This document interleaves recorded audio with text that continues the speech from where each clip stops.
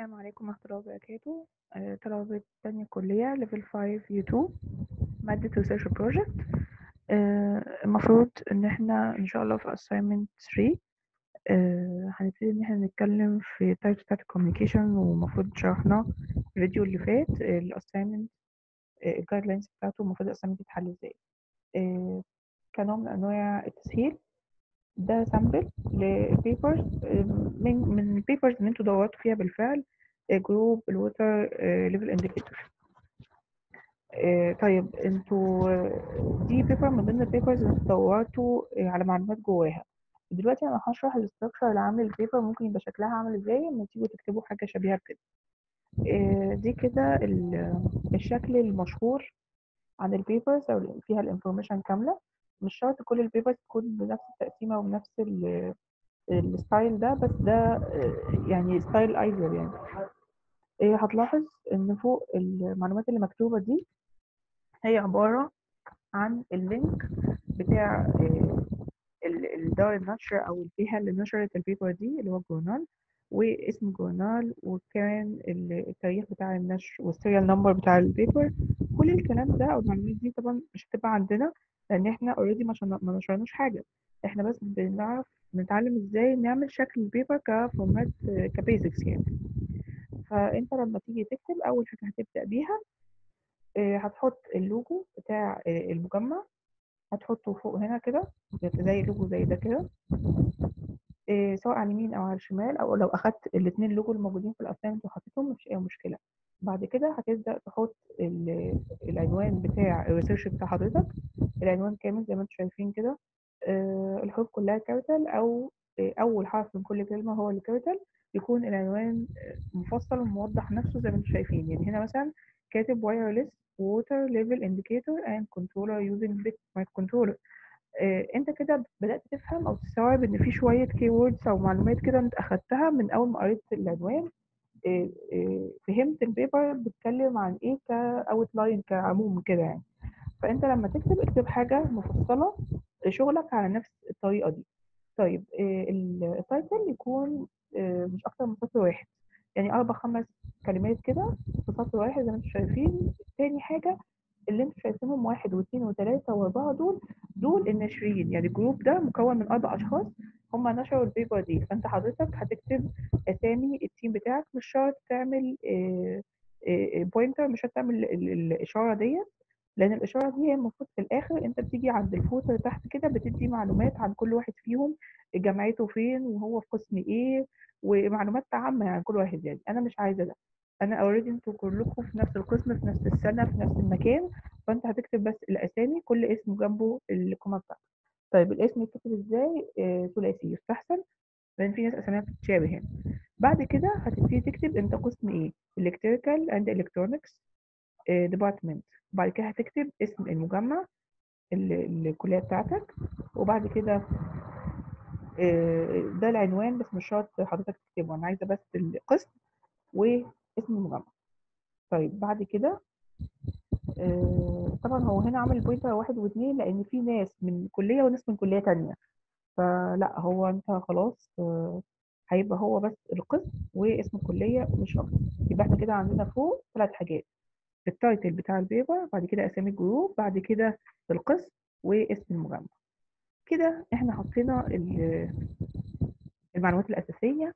هنيجي بعد كده في عندك على الشمال في شوية information عامة عن المقالة نفسها أو ال paper دي. آه، هي آه، اتنشرت إمتى اتسلمت إمتى بتاريخ كام وهكذا. برضه ده ما يعنيناش كتير مش مش لازم.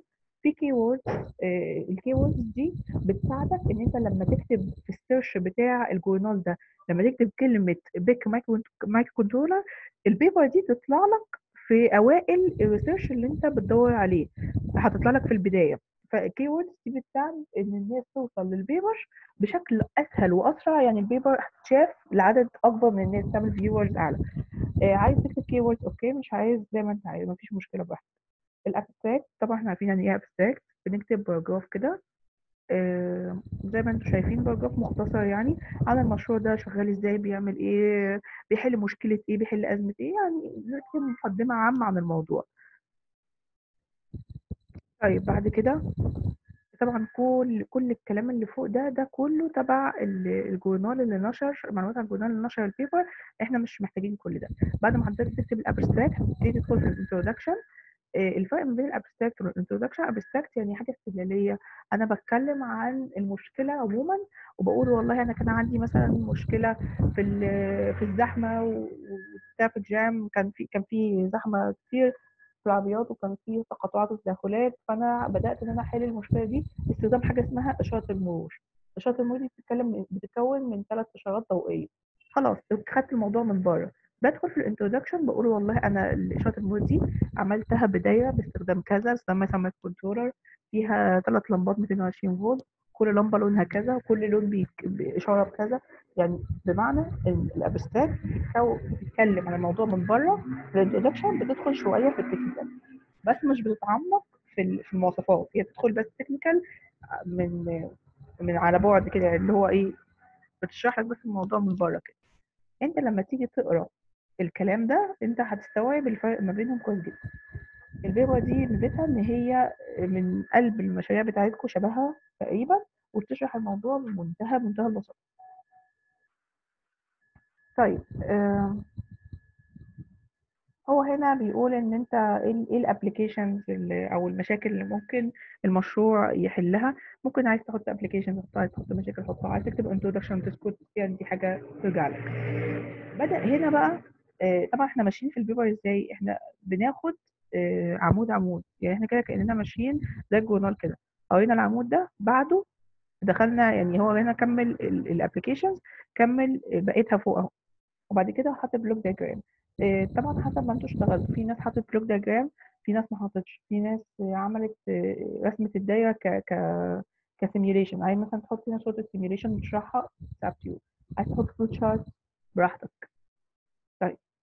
آه بدأ إن هو يشرح الكلام على هيئة نقط. آه برضه وأنت جاي بتشرح الشغل بتاعك تشرح شرح مبسط في هيئة نقط زي كده كام جملة ما تشرحش شرح مستفيض. لاحظ إن ال paper بتبقى عبارة عن ثلاث أربع ورقات بالكتير مش كتاب مش مش report كامل. آه بدأ يشرح برضه شرح كده ال block diagram شرح ال circuit diagram أنت مش مقيد بكل ده أنت بتعمل حسب الخطوات اللي أنت مشيت فيها.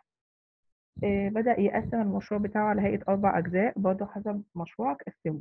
لو مشروعك دايرة واحدة خلاص مشروعك دايرتين ثلاثة يبقى كل دايرة لوحدها وأعتقد إن أنتم مشاريعكم في المجموعتين هي دايرة واحدة وخلاص وبيشرحها زي ما أنتم شايفين كده هو بياخد شكل الدايرة ويشرحها بياخد ال circuit diagram ويشرحها. يفضل إن أنت تحط simulation وتحط آه تحول الرسمة block ات شبه كده. علشان الموضوع يبقى واضح للناس اللي هي ما بتبقاش عارفة ال simulation أو مش عارفة ال Proteus مش عارفة البرنامج بيشتغل إزاي لما يبصوا على ال block diagram هيبقى الموضوع أوضح لهم آه بعد كده آه هو بدأ إن هو يقول إيه فكرة العمل بتاعة ال switch ات بدأ يحط ال switch ات على هيئة زي حاجة زي zero عند one يعني ال switch مقفول مفتوح حاجة زي two stable كده يعني بسيطة. وقسم المشروع ل part ين اللي هو ال hardware لوحده وال software لوحده. طيب إحنا ال ideal بالنسبة لنا إيه؟ simulation block diagram نشرح ال hardware لوحده وال software لوحده شغالين إزاي. ممكن هنا أنا مش مش محتاجة منك تحط الكود مش عايزاه. أنا عايزاك بس تقول لي الكود بيشتغل إزاي. أنت كتبته باستخدام لغة إيه؟ باستخدام framework يعني ال software اللي اشتغلت عليه اللي هو إيه؟ اللي هو ال mikroC يعني. وبدأت إن أنت الخطوات بتاعتك اشتغلتها إزاي؟ أو الكود يعني اشرح لي الكود كده في كام جملة. بعد كده هتحط ال conclusion اللي أنتوا already كنتوا كاتبينها قبل كده وتحط لي ال reference بس هي دي المكونات الأساسية لل paper طيب بالنسبة للصور في ناس صورت حاجات وهم شغالين وهكذا. آه عايز تحط صور أنت ممكن تحط الصور زي ال shot screen بالظبط. طيب الصور هنا بتتحط إزاي؟ أنت بتحط ال figure وبتروح كاتب اسم ال figure تحت. fig F I G اختصار figure dot وتروح كاتب ال title بتاع الصورة. الصورة دي عبارة عن إيه؟ يعني هنا هنا بيقول إن ده ال RF transmitter هنا ال RF receiver يعني كل حاجة كل صورة ليها الاسم بتاعها. هتحط صورة ال simulation عايز أي تحط أي صور تانية حط طيب بالنسبة بقى للحاجات اللي هي النظر زي ال fishbone analysis وال SWOT analysis والحاجات اللي إحنا اشتغلناها طول السنة دي. أي حاجة نظري إحنا بنعملها ك tool في الامتحان عشان نحل المشاكل اللي بتقابلنا. لكن أنا مش محتاجة أشوفها في ال paper خلاص. أنا ال paper بالنسبة لي زي ما أنتم شايفين كده بعرض العملي بعرض الشغل بتاعي وبقول ال result آه في حاجات اشتغلت مظبوط في حاجات كان فيها مشكلة أو كده. طيب الكلام ده يظهر إزاي؟ وأنت بتشرح وأنت حاطط simulation وعمال تشرح هو اشتغل إزاي هتيجي تقول لي كان عندي مشكلة في كذا technical مشاكل technical بس عملي. كان عندي مشكلة في كذا وحليتها بكذا مش لازم بقى صور الصور أنت خلاص حطيتها. انت بس هتتكلم عن المشكلة في جملة أو جملتين تنويه كده. لو في أي استفسارات أو حاجة مش واضحة هنتواصل على الجروب مع بعض. اشوفكم على خير.